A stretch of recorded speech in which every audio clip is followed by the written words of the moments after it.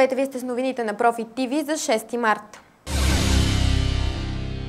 По предварителни данни на Националния статистически институт, новопостроените жилищни сгради през 2008 година са 2939 и са се увеличили с 9% в сравнение с 2007 година.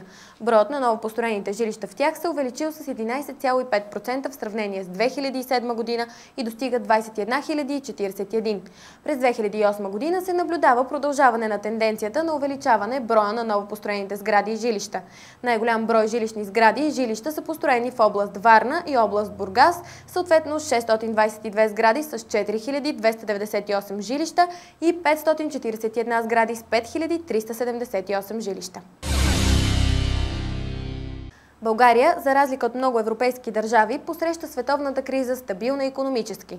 Това заяви еврокомисарят Хоакина Омуня по време на срещата си с премиера Сергей Станишев. Той даде висока оценка на економическата и финансовата политика, водена от правителството. Министър-председателят благодари за обективния анализ от страна на комисията и представи дългосрочните мерки, които са в основата на тази стабилност и предвидимост, като валутен борт, поддържането на бюджетни излишъци, подобряването на бизнес климата, благоприятната данъчна среда, среда и други, съобщиха от правителствения информационен център.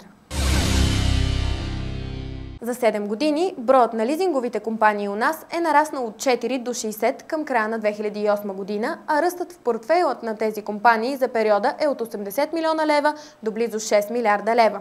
Това заяви Стойчо Кръстев, изпълнителен директор на Алианс Лизинг България в специално интервю за Profit TV.